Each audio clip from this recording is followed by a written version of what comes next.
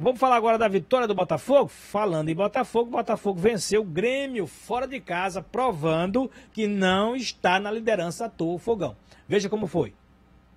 O Botafogo venceu o Grêmio em Porto Alegre e disparou na liderança do Brasileirão. Comandado pelo técnico interino Cláudio Caçapa, o Fogão suportou bem a pressão gremista, cresceu no segundo tempo e conquistou mais uma vitória na competição.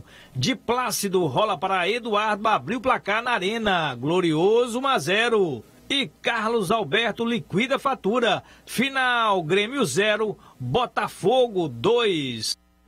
Vitória maiúscula do Botafogo contra o forte time do Grêmio que não perdia mais de um ano em casa e perdeu para esse Botafogo que está com tudo, está voando o Botafogo.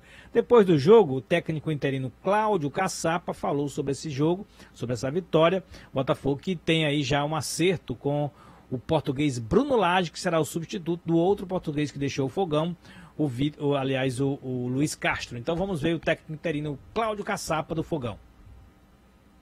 E hoje, mais uma vez, graças a Deus, o grupo é, respeitou bem aquilo que nós trabalhamos. Você perguntou do, da semana de trabalho, foi uma semana muito boa, muito proveitosa. Falei isso com os atletas hoje na preleção. Né? uma semana também muito leve, né? onde os atletas se dedicaram ao máximo, né? fazendo o trabalho que nós propomos para eles da melhor forma possível, com intensidade, com alegria, com prazer, que eu acho que isso também é importante. Mas eu acho que hoje se confirmou a boa semana, mesmo que foi um jogo muito difícil para nós, principalmente no primeiro tempo.